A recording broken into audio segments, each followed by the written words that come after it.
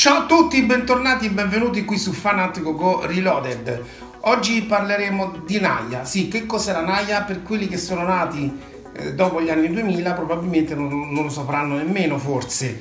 Mm, si tratta della leva obbligatoria, sì, perché prima eh, c'era appunto la leva obbligatoria, tu eri costretto per un anno almeno, insomma, quella obbligatoria di fare il militare in pratica. Quindi parleremo per, di questa cosa perché eh, si, si, sta riparlando di, una, di ripristinarla in qualche modo, ma non se ne è fatto nulla fino ad ora. E, e inoltre, oltre a questo, oltre a questo fatto diciamo di cronaca, possiamo dire, vorrei anche mettere in questo video la mia esperienza personale. Quindi do la linea al video, grazie a tutti per la visione, alla prossima, ciao a tutti!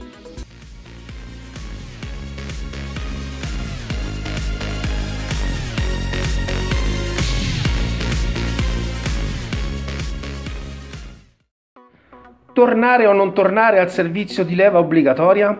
È dal 2018 che se ne parla, dal primo governo Conte, quando Matteo Salvini era ministro dell'Interno, Luigi Di Maio dello sviluppo economico ed Elisabetta Trenta della difesa.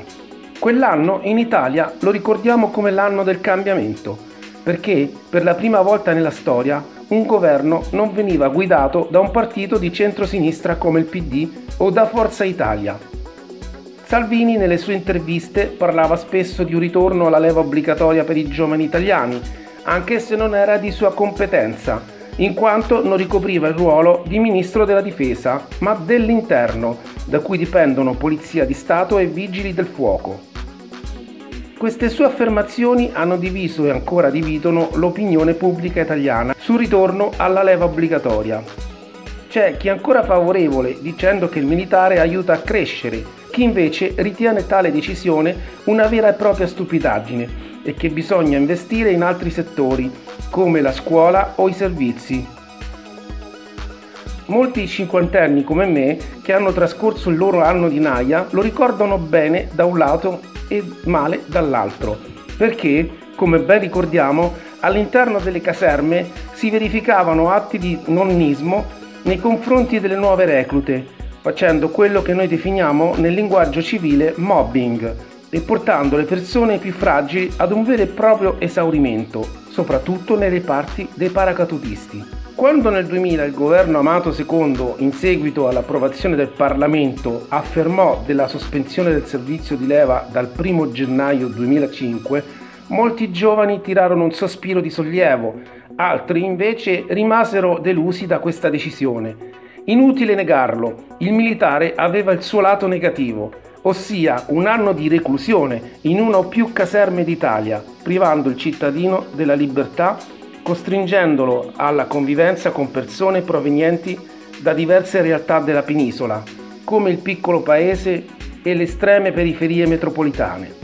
Ma aveva anche i suoi lati positivi, soprattutto per chi veniva dal sud, zone dove c'erano meno possibilità di poter trovare un lavoro da civile e la naia poteva essere l'inizio di una carriera sicura, firmando la permanenza nella forza armata invece che il congedo. Molti che hanno fatto questa scelta si sono ritenuti soddisfatti perché sono riusciti a sistemarsi e dopo l'anno di forza sono riusciti a trovare le loro sicurezze economiche, potendo così costruire una vita migliore di quella precedente, la cartolina rosa, e di stringere vere amicizie. Voi invece cosa ne pensate? Ora vi racconto il mio servizio di leva. Era il 1983, anno del primo governo Craxi e sulle neonate reti Mediaset, che grazie all'accordo Craxi-Berlusconi diventeranno le prime televisioni private nazionali, veniva trasmesso Drive-In, uno show serale ideato da Antonio Ricci, l'autore del celeberrimo programma Striscia la notizia. Quell'anno ho ricevuto la fatidica cartolina rosa in seguito al superamento della visita di leva nella caserma di Viale Giulio Cesare a Roma, ho dovuto prendere un traghetto per recarmi in Sardegna, nella caserma Gonzaga di Sassari, per iniziare il CAR, ovvero Centro Addestramento Reclute. Beh, lo ricordo come se fosse ieri praticamente, anche se sono passati quasi 40 anni, sì, nell'83. E diciamo che questi erano i famosi tre giorni della visita militare che ti da, con un pedalino. Era imbarazzante, sì, uno dei più imbarazzanti perché vai allo sbaraglio in uno stanzone enorme con almeno una cinquantina di ragazzi che si visitano insieme a te e che eh, dovendo fare una visita completa in tutto e per tutto, fra misurazioni, analisi, peso, altezza e altre cose, rimanevano, rimanevamo come mamma ci ha fatto in pratica e quindi per me era molto imbarazzante perché all'epoca io ero più timido, molto più timido di adesso. Arrivato in caserma ho scoperto che le reclute in caso di partenza per le missioni internazionali sarebbero state formate per andare in Libano che nel 1983 si trovava in piena guerra. Che paura! Il primo mese a Sassari è stato duro. Io e gli altri ragazzi del mio gruppo eravamo le spine e i nonni ci avevano subito preso di mira. Gavettone scherzi notturni durante i servizi di vigilanza. Ahimè, i controlli non erano molti e molte cose si lasciavano passare. Ricordo ancora le camerate enormi, con posti letto a tre piani, e tanta, ma tanta gente dentro una sola stanza. Altro rituale a cui non si sfugge è l'aeroplanino, ossia si sale sull'armadietto del nonno e si canta a squarciagola. Meno male che ho una bella voce.